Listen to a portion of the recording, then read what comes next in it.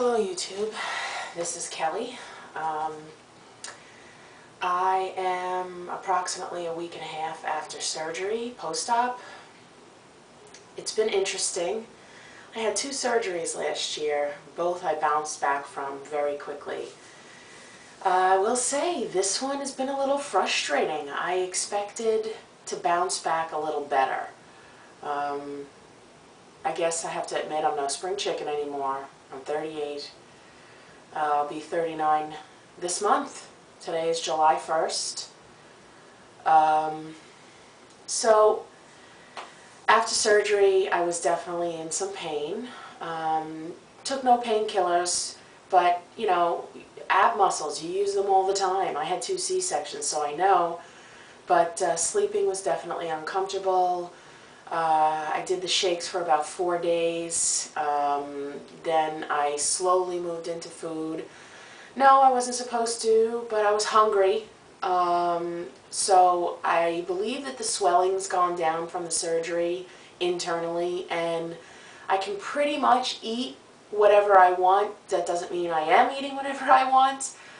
Um, I'm making cautious choices. I think today I'm going to start a food journal um, so I can see what I'm eating.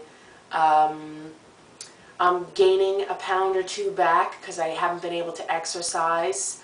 Uh, I, from what I understand, you're supposed to wait six weeks, but frustrated with the fact that I don't want to gain any weight back. I think I've gained three pounds uh, this week. Um, I'm hoping to, because I'm eating food, um, I may go to two shakes and one meal and see if I can start walking. My follow-up isn't until July 5th. I thought it a bit odd that it's two, two weeks before your first follow-up visit, but what are you going to do? My frustration has mostly been that my doctor's office, who kept touting the, you know, one of the most important relationships you're going to have is with this office, and we want to keep it a really good relationship, and yada, yada, yada, which made me feel so good to start with, they hadn't filled out any of my paperwork. So I've been out of work. I'm now on disability. Disability contacted their office three times. I, I went to their office before I was released from the hospital with my um, paperwork for them to fill out.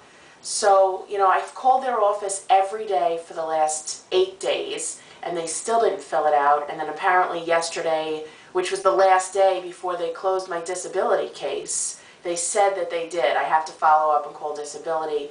But I said to them, I find it extremely frustrating that, you know, you want me to focus on my recovery and I'm afraid of losing my job and not getting paid for two weeks. You know, in this economy, it's, it's not an easy task. So that's some of the other stuff I've been dealing with um, along with the recovery. I've been home with my kids, which I'm normally don't get to see as much as I'd like, so I've enjoyed that. Unfortunately, though, I am very limited as to what I can do because of the surgery. Um, my kids go in the pool. I can't go in the pool for obvious reasons. Um, you know, it's weird having so many incisions. Uh, I'm not complaining. I don't regret my decision. I'm very excited, and I know that I am going to be successful. Um, I'm not going to get discouraged because I had a three pound gain. This is a journey. Um, you know, everybody has an opinion. I was told that. Uh, I have a lot of people telling me, you know, why don't you get a fill? Don't leave the office without a fill. And my doctor's office doesn't do a fill right away, which I happen to agree with.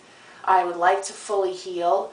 I would like to start exercising and see if I can start losing weight without a fill. And then if I can't, then I'll consider a fill. But I believe that if I were working out right now, I would be losing weight. So it's a slow and steady process, and uh, I'm not looking to rush the process. And uh, following the rules, that's a process for me too. Um, I have to do better with not drinking with meals, and I know that that's just habit. So I will get better at that too.